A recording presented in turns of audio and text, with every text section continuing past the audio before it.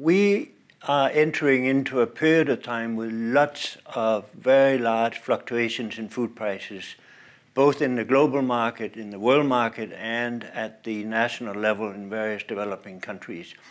That's because of the um, extreme weather events that are closely associated with climate change.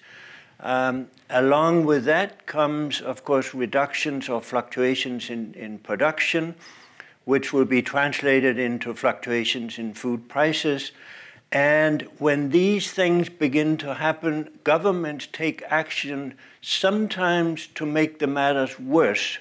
When, if prices are on their way up because of production shortfalls in certain areas due to climate change, governments may push the prices up further by doing uh, certain things like um, procuring food from the market speculators get into the picture saying, oh, I have money to invest in food in the futures market because it looks like food prices are going to continue to go up. So let me jump in. That would push the prices up further. So there's a group, uh, there's a bunch of things that together will push up food prices until such time that everybody agrees that uh, it's too high and then it will come back down at a very rapid rate.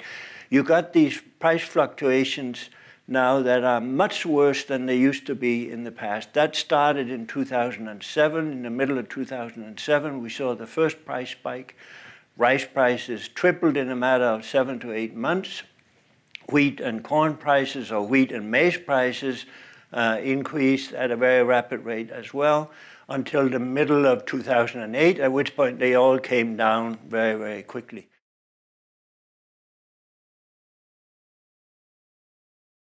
We needed to understand not only how governments would react to these kinds of new price volatilities, but also why they would react the way they did. How did governments respond and why? What are the interest groups or the lobby groups that will influence the um, uh, policy process in such a way that you end up with uh, a set of policies. Uh, what is the power of the government vis-a-vis -vis certain lobby groups and so on. So we're looking at this whole complex set of issues in order to better understand the policy process and how that uh, process is influenced. If we understand how governments respond, or rather how governments responded in the past, we can begin to predict how they would respond this time, and we can help governments respond differently to achieve the goals that they set for themselves.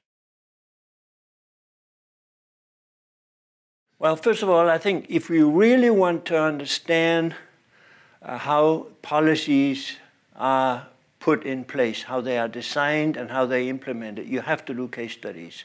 If you don't do case studies, you end up with um, more superficial information, uh, knowledge that doesn't really get to the bottom of the problem. So by doing a set of uh, case studies, you're much more, and then you, you can then synthesize the results across the case studies. You are more likely to come up with something that's useful for predicting uh, and advice, predicting future policies and advising governments we uh, started out with identifying 18 developing countries, as well as the uh, European Union and the United States. And we wanted, and, and those 18 developing countries were picked to get diversity. We wanted uh, traditional exporters, uh, food exporters, traditional food importers, uh, self-sufficient countries, landlocked countries. We wanted countries from Africa, Asia, and Latin America. So we had a, a, we wanted diversity in the selection of cases. We then um, we then grouped the countries according to um, uh, their characteristics, and then picked countries from each of those groups. Now comes the difficult one. How do you find the researchers in those countries who can who are willing to work with us and who can do this kind of research.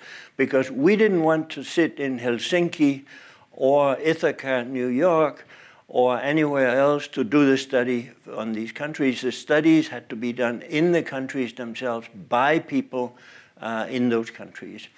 And, and selecting those people was more an art than a science. Uh, we didn't have a randomized uh, experimental design. We couldn't quite figure out how to make that work.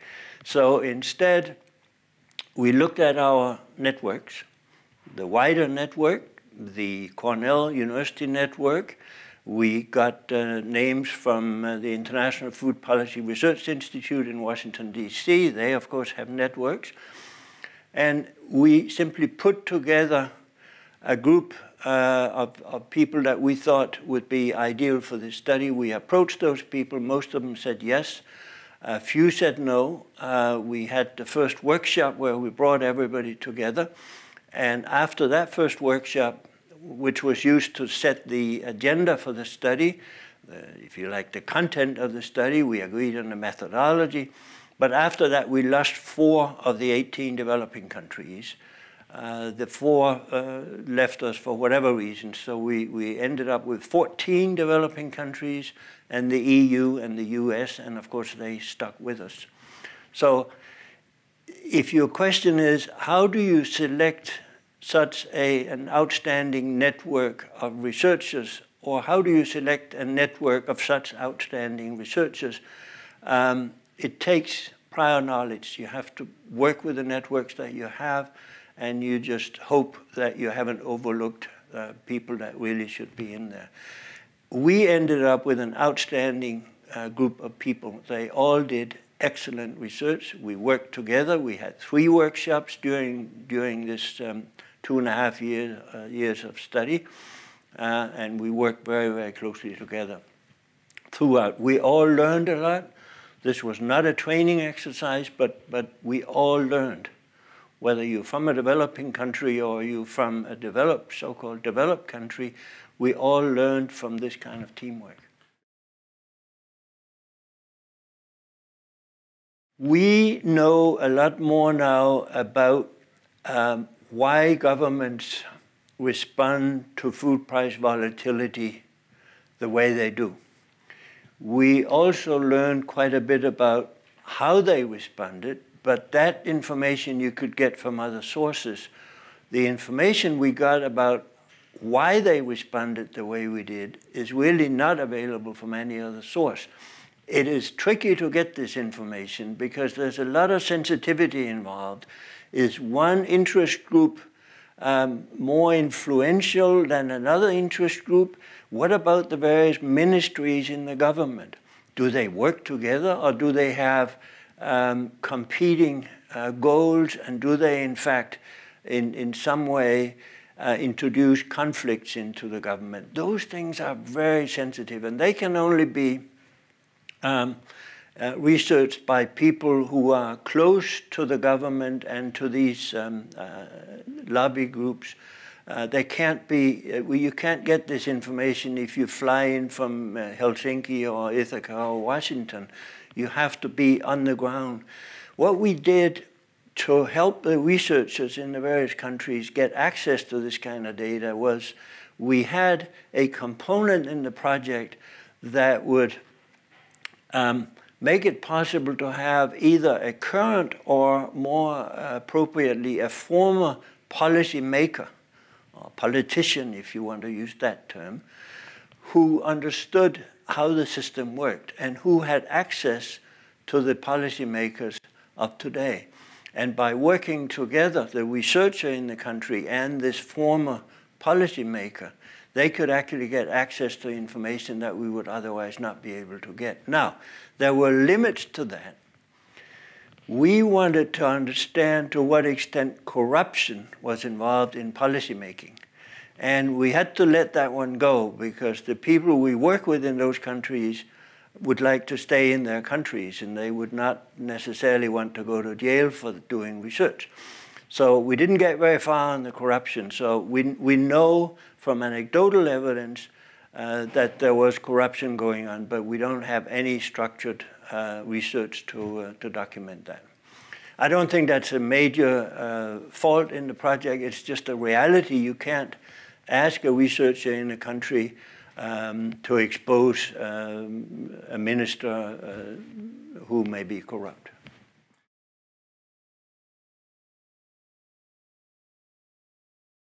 It was an opportunity to use a natural experiment to generate the kind of knowledge that we badly need.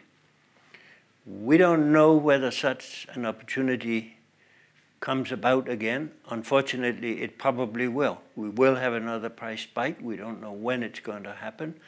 So this was an opportunity to actually generate the knowledge that would be useful for future decision making the, is the information that was that was collected beginning in 07 um, now outdated? No, unfortunately it's not. I wish it were. I wish the world had moved ahead and everybody was more enlightened now, but I'm afraid that's not the case. So no, that kind of research isn't outdated after a few years. Uh, if we have another price spike, um, hopefully somebody will do another set of studies and we need to continue to update this. But no, this book uh, is uh, going to be um, timely for uh, quite some time to come. It is very much a hallmark of WIDER. That is uh, the way WIDER operates. And of course, as part of these network uh, efforts, these team efforts, you are learning from each other. Now, this is very different from bringing somebody into a university and giving them a degree. This is learning by doing. And the people that WIDER works with, in most cases, uh, are already at a level where they have learned the basics, but by working together, you can learn from each other. And it doesn't matter what kind of degree or what kind of experience you have, you can always learn more from uh, working in teams. So yes, I think that is the hallmark mark of uh, WIDER, and I think it's a hallmark that should be maintained.